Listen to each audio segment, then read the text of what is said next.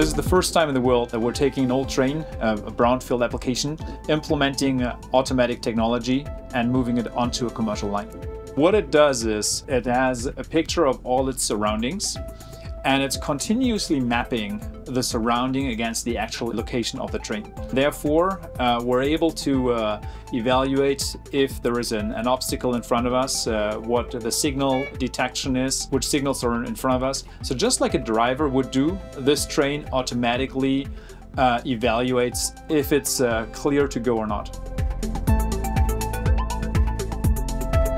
The first big benefit is that we're facing a shortage of drivers, just trained personnel. So by automating train operations, we're actually enabling the trains to run. The second element is that uh, by automating more tasks, we're able to move into a 24-7 mode, which means that we're increasing asset utilization drastically. And the third element is that uh, the energy footprint is, is reducing. So in the future, the passengers will, will have potentially higher takt times, more frequent trains, less disruptions, and an overall more reliable system.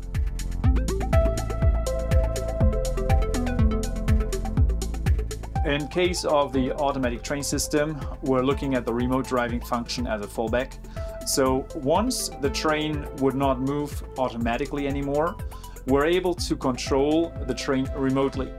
And uh, either from uh, from the depot or from a from a dedicated remote driving uh, station uh, we would then be able to take control of the train and drive it to the next station where uh, potentially you would have a train driver that takes over. So the most important is that you always see the live transmission of the camera uh, in front of the train, which means that as a remote driver, you've got the same kind of visibility as the, the actual driver would have. You can brake the train and you can accelerate the train. In the case of Arte, we're, we're providing a very simple solution, uh, which is a tablet, which is linked in with the train control, and that works. Bits and bytes alone are not going to run the, the train operations. We, are always going to have people in the background managing it. Safety is always the, the first uh, predicament, uh, the, the, first uh, element that we're looking at. So we would never compromise on safety.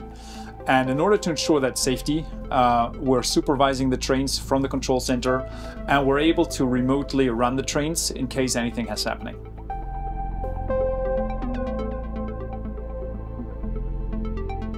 Alstom alone has delivered 3,500 trains running in automated systems. We've got 140 lines worldwide, which are fully automated. So it's not something new.